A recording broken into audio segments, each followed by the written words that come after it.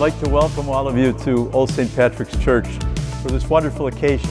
I know for Jonathan and Caroline, it's so important that you are here because in so many ways, you are the ones who've helped bring them to this place today.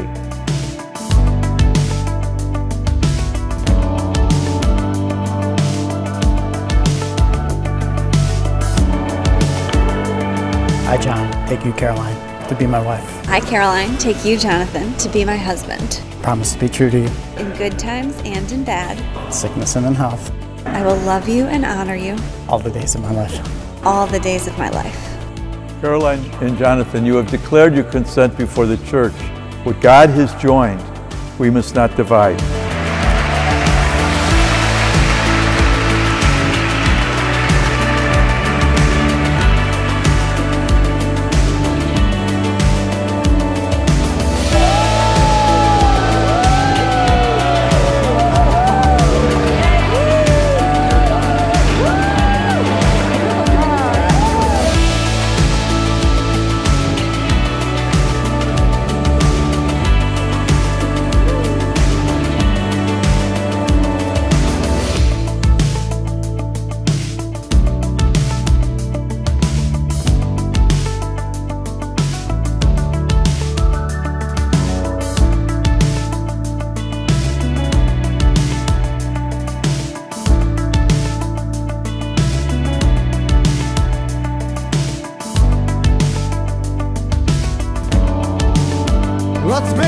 Noise for Mr. and Mrs.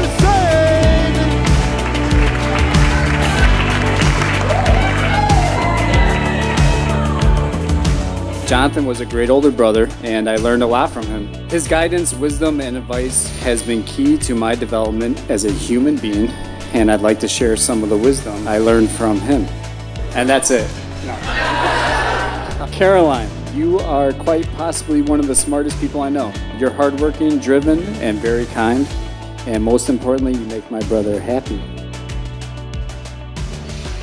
I want to say thanks for my daughter. I've watched and just absolutely marveled as you've grown from a little girl dancing around the kitchen to an accomplished woman who still smiles and laughs just like she did as a little girl.